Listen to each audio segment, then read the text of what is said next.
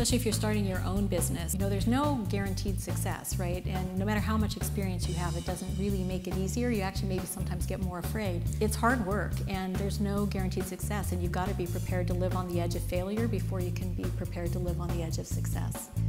I found that engagement is that superpower that makes problems go away and people work long hours um, and or rise above or put things you know, behind them when things don't go right because they care about the purpose of what you're doing.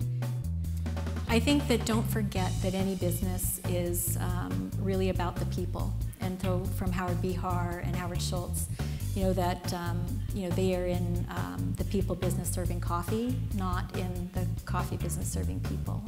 You know, I define leadership as creating um, the space for others to perform and for creating something that would not otherwise occur.